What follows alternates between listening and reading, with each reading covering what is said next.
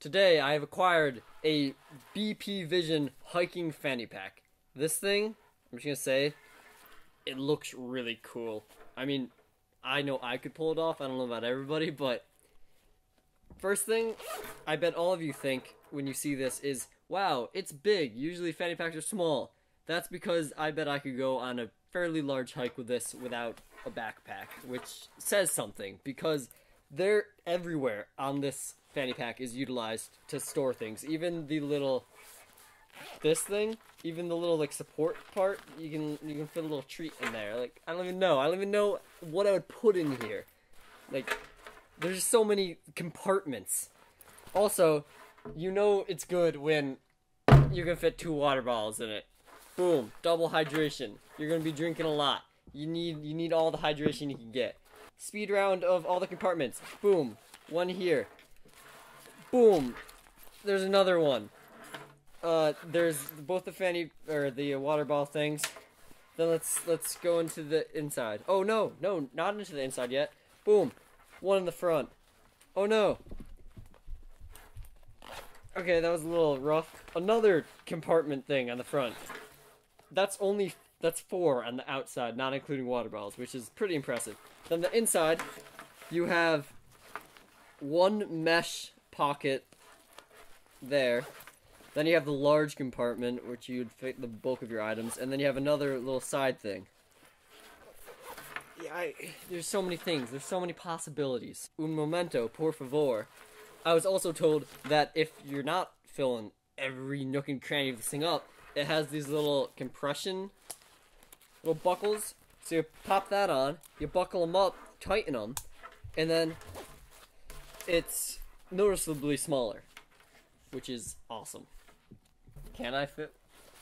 Probably both. No, not both. Yeah, both. Holy crap. Maybe. So we're gonna test this thing out to see its full potential. One thing you really need in a fanny pack is good adjustments things, because everybody's got different bods. You gotta adjust to your body. Alright, let's see if I can buckle. And there we go. This seems like a good buckle. That seems I'm tugging on it. I don't really it's good, good quality because you don't want that breaking because that's really important because you can't wear it otherwise. So, let's check out the water bottles. This one's probably too big. I know you can fit a like consumer water bottle in here and a basic water bottle works really well. Let's see if this big one. I bet it's just too big. Too big.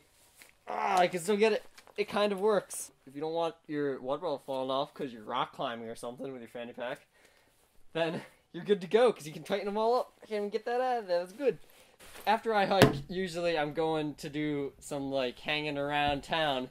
So I wear my hiking boots, but then, man, I need to bring my kicks too. So let's just shove my shoes in here, because, you know, who needs food and such? And if you do need food, I could probably fit a, a bunch of food, little snacks in all these hidden compartments. Boom. I did it. Look at that. I'm ready to go. And if you could fit two shoes in there, that's you can fit a decent amount of stuff. This is good for a really long, like all day hike. You know, it doesn't give the normal look off of like a fanny pack is like wimpy. This shows like I'm I'm fanny packing, but I'm ready to go. It's awesome.